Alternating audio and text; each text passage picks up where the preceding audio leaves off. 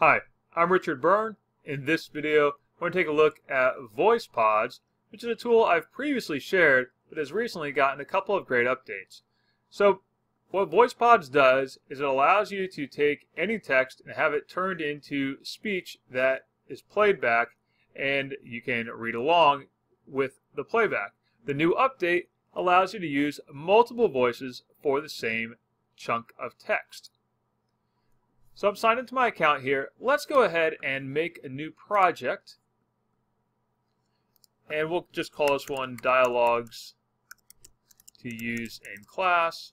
We'll call it Dialogues and Monologues.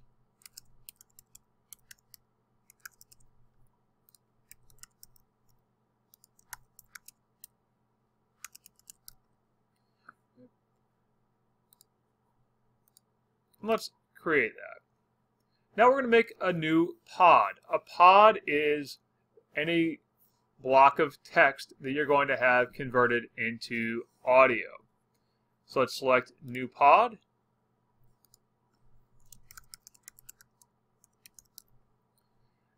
I'm now going to paste in some text that I have.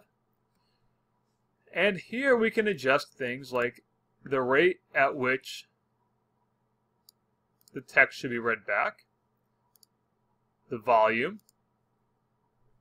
And most importantly, we can now change out the voices. So you can see here, I'm putting in some line breaks. And I'm going to now highlight that line, select the voices, and choose a voice. And we'll see that the voice I've chosen here is Aiden. If I choose that line, I can select a new voice for the next line. Perhaps I'll use Sophia's voice. And I can do that all the way through this recording.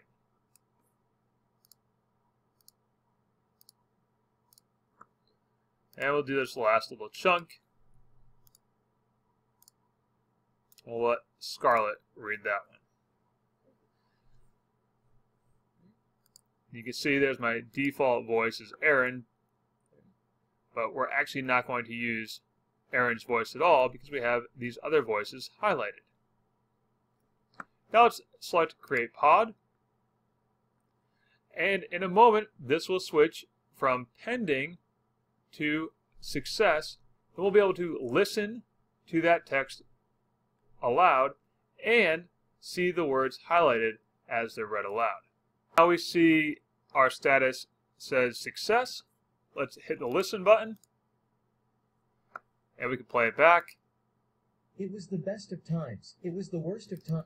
And we see that the words are being highlighted as it's read aloud. Now, if we need to go back and change anything about this, we can hit the edit button.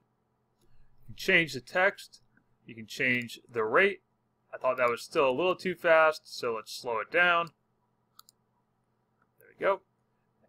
You can go in and change the emphasis and things like that. So that's VoicePods, and that's how you can use multiple voices in a voice pod recording. As always, for more tips and tricks like this, please check out freetech4teachers.com and practicaledtech.com.